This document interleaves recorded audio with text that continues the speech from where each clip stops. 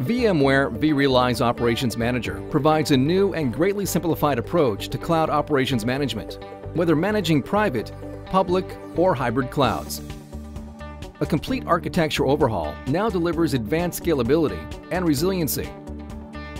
vRealize Operations Manager can be deployed in a scale-out cluster consisting of virtual machines called nodes. These node appliances can be deployed in a multi-node configuration to significantly increase scalability, flexibility, and ensure high availability. Let's look at the key components of the vRealize Operations Manager architecture. The collector module handles resource data collection initiated by the management pack adapters, then passes the data to the controller module. The controller determines where data will be inserted into the cluster and which nodes own the data when queries are processed. The analytics module handles metric calculations, stat storage and retrieval, threshold processing, and alert generation on any node. The persistence module handles writing the data from memory to disk. A vRealize operations node can assume a variety of roles. The primary roles are master, master replica, data node, and remote collector. The master node manages global data for the cluster and also assumes the role of a data node. The master replica node receives replicated copies of global data from the master node. The replica will also take over the master role in the event of a master node failure.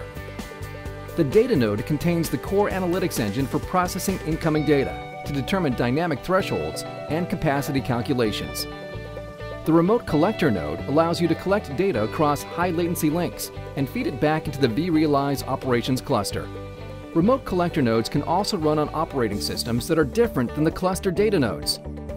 For example, you can deploy Windows-based adapters on a Windows-based remote collector and feed that data to a vRealize operations cluster running on Linux virtual appliances. To interact with the cluster nodes, vRealize Operations Manager offers two user interfaces, the Admin UI and the Product UI. The admin UI runs on every node and provides access to administrative functions such as cluster management tasks. The admin UI is primarily used when the product UI is not available. For example, when configuring a new cluster for the first time, or when upgrading the vRealize Operations Manager application. The product UI runs on all nodes except remote collectors. It is the primary user interface into vRealize Operations Manager and provides access to all of the product content and management tools.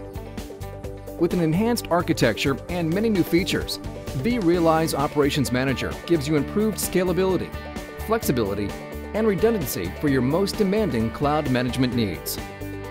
To learn more about the capabilities of VMware vRealize Operations Manager, visit vmware.com/go/vrops.